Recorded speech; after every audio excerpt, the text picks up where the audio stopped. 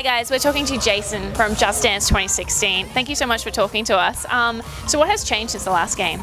Uh, sure, actually we're excited to be offering a, a, bunch of new features this year. Of course, great track list, huge hits, and for players who are on uh, new gen consoles who don't have a camera connected to their system, they're going to be able to play the game using their smartphone as the motion controller. Full access, full navigation of all the menus, and you hold the phone in your hand and you score. It's actually, we're really excited to be opening up the game to all console owners. That's really cool. So you just have to download an app and then you're good to go?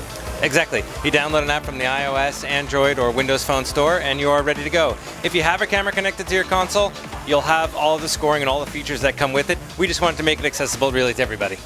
And what about the track list? What is probably your favorite addition?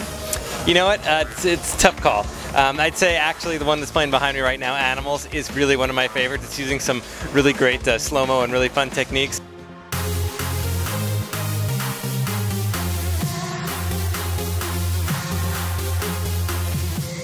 But like always, um, there are always some songs that are unexpected in Just Dance, and we're actually using um, Rossini's William Tell Orchestra this year in a really, really fun way. It's kind of unexpected but hilarious.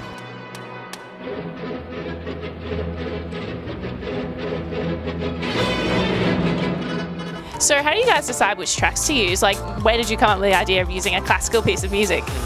You know, that's uh, it's always a discussion. I'd say the inspiration comes from the creative director, and he's really trying to decide, you know, what the team, what he had an idea, and once they they started to test it and work and uh, do some playtest and see how people reacted, and once they saw the rea the reaction that they could do something really funny and interactive in the room, it, uh, it, it went from there.